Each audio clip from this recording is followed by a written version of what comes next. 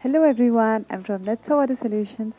We all require clean water for different uses, including drinking, washing, bathing, commercial or industrial use, etc. Don't we?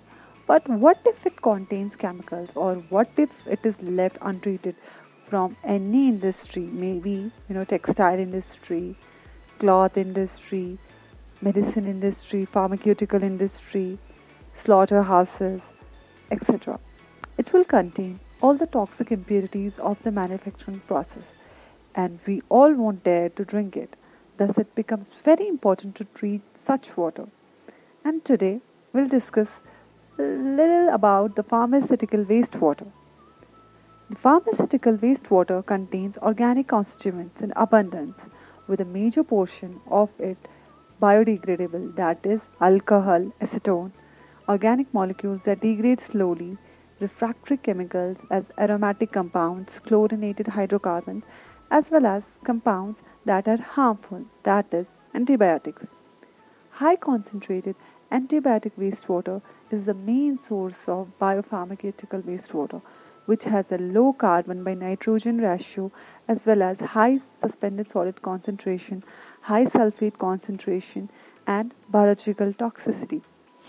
It also contains a variety and excess of salts and a range of effluent, example COD, BOD, total nitrogen, total phosphorus, and the temperature and pH with different ranges.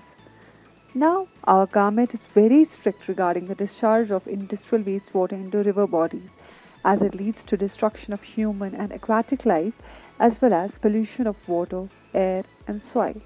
Thus, with advancements in the technology, we are employing such technologies to treat pharmaceutical wastewater with physicochemical as well as biological treatment.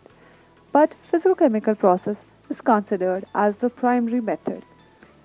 The processes that we include in our treatment for pharmaceutical wastewater it includes coagulation, sedimentation, flotation, activated carbon adsorption, advanced oxidation process, reverse osmosis, as well as electrodialysis. These approaches they offer numerous advantages including reduced energy and usage, less pollution, and ease of operation and automation.